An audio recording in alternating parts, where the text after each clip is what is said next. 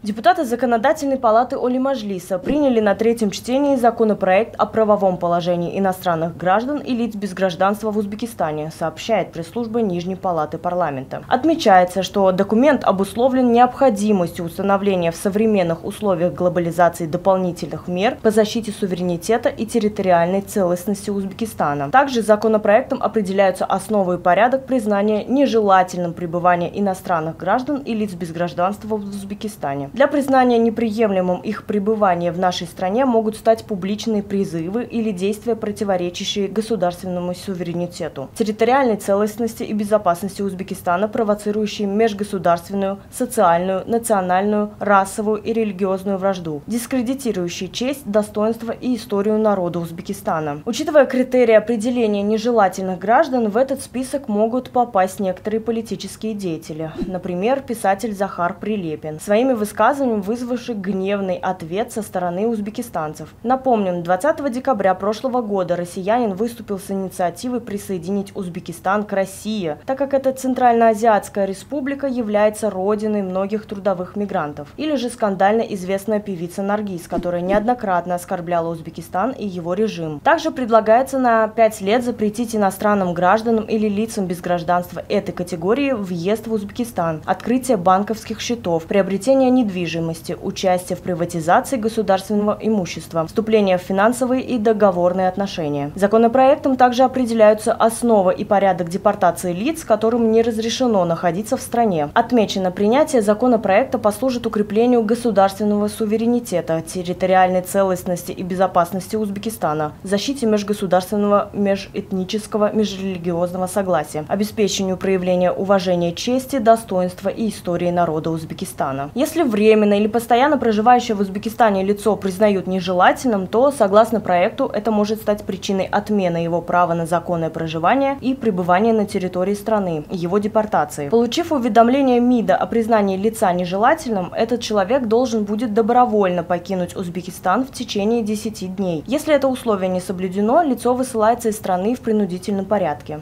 страны, запретившие въезд нежелательным гражданам. Депутаты Узбекистана упомянули, что в создании законопроекта учитывался опыт Казахстана, Китая, Азербайджана, России, стран Прибалтики, Польши и Беларуси. Если говорить про опыт Латвии, то глава латвийского МИДа сообщал, что их страна, ограничившая въезд только российским гражданам шенгенскими визами еще в 2022 году, сделала это по соображениям безопасности и в связи с российской агрессией. А 7 сентября Литва, Латвия и Эстония договорились и об ограничении на на передвижение граждан РФ через границы с Россией и Белоруссией. Отмечал, что исключение сделают для дальнобойщиков, дипломатов, членов их семей и для граждан, въезжающих в прибалтийские страны по гуманитарным причинам. В России же, согласно федеральному закону о порядке выезда из Российской Федерации и въезда в Российскую Федерацию, нежелательным может быть признан любой иностранец, который создает реальную угрозу обороноспособности или безопасности государства, общественному порядку либо здоровью населения. Признать нежелательным могут в целях защиты основ конституционного строя, нравственности, прав и законных интересов других лиц, что очень похоже на наш законопроект. Сколько иностранцев признали нежелательными к пребыванию в России, неизвестно. Списка наподобие перечня нежелательных организаций или СМИ иноагентов нет. Но с момента принятия закона с каждым годом все больше мигрантов, иностранцев и даже граждан России признают нежелательными. Известными примерами в России являются певица Светлана Лобода, рэпер Моргенштерн. Все они высказались против России и вооруженных сил сил РФ. Но при этом для отдельных лиц существуют правила, при которых они могут вернуться и получить разрешение во въезд при выполнении обязательных условий. Возможно, и в условия входит прекращение дискредитации страны. Какие же предпосылки были в нашей стране для принятия данного закона? Есть ли угрозы и какие есть плюсы?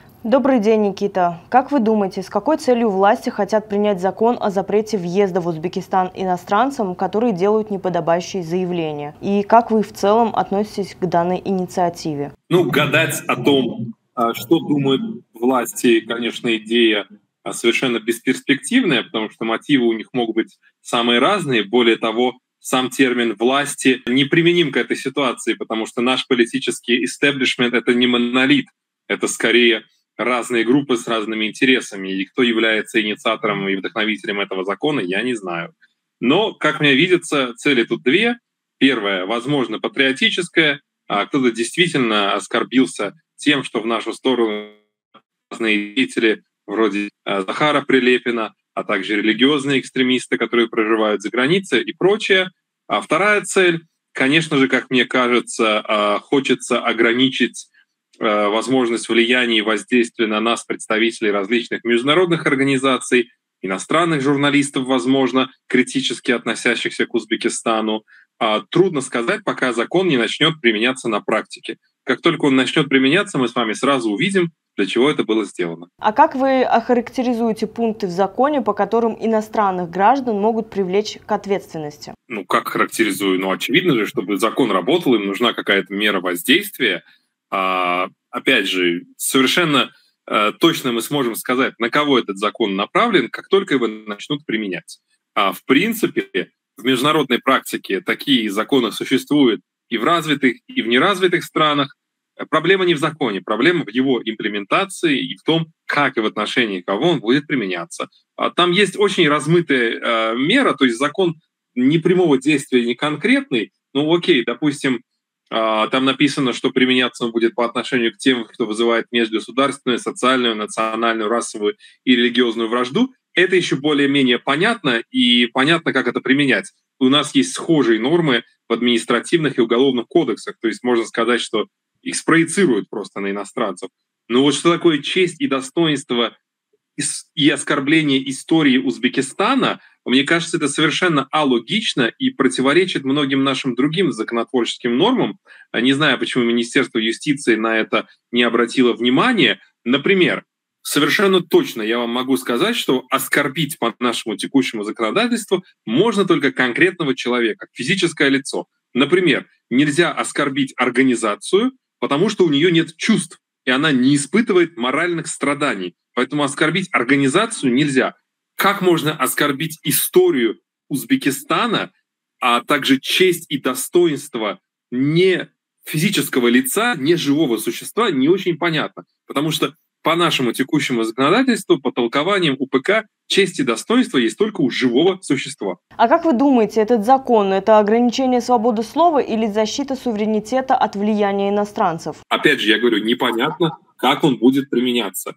А, я не знаю, для чего они его придумали, патриотических ли целях или в целях а, ограничения свободы слова, но очевидно, что его можно использовать и так, и так это исходит из его размытых норм, то есть вот особенно из вот этих про честь и достоинство истории Узбекистана. Мы можем вспомнить хрестоматийный случай, когда знаменитый режиссер Умида Ахмедова, не помню, году в 2011 или еще раньше, была осуждена а, за клевету и оскорбление узбекского народа. И вот тогда была большая юридическая коллизия. Дело в том, что она сняла документальное кино а документальное кино не может никого оскорбить по факту, потому что в нем нет художественного вымысла. Оно просто показывает то, что есть. Поэтому оно не может быть оскорбительным. Иначе нужно признать то, что сама реальность оскорбительна. Как будет толковаться такая юридическая коллизия, непонятно. А как вы считаете, данный законопроект будет защищать наш суверенитет или же это больше направлено на контроль за иностранными гражданами? Напишите свое мнение в комментариях. А с вами была я, Малика Тагайназарова. Подписывайтесь на наш канал, ставьте лайки и следите за нашими новостями. До скорых встреч!